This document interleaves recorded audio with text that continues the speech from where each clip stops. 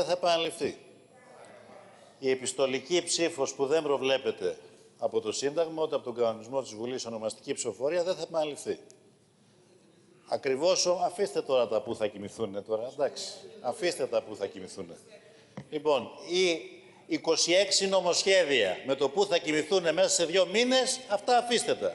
26 νομοσχέδια. Λοιπόν, λοιπόν. η δημοκρατία δεν μπαίνει σε καραντίνα, η κοινοβουλευτική λειτουργία δεν μπαίνει σε καραντίνα, η καραντίνα έγινε από όλους μας με ευλαβική ε, ε, προσπάθεια για το συλλογικό καλό και μέχρι σήμερα είχαμε και μια καλή συνεννόηση και, ε, αν θέλετε, ε, αποφάσεις που παίρναμε συνενετικά που πράγματι ήταν έξω από το πλαίσιο το κανονιστικό. Άρα λοιπόν ως, ως τέτοια εκλαμβάνω την τοποθέτησή σας και όχι ως εχμή.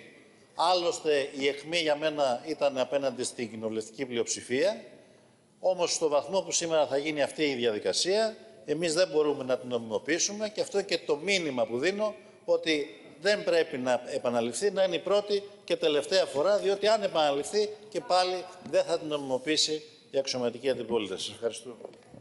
Πάντως, αν ήθελα να πω κάτι, δεν θα το έλεγα εμέσως, θα το έλεγα ευθέως. Οπότε, λάθος με ερμηνεύετε.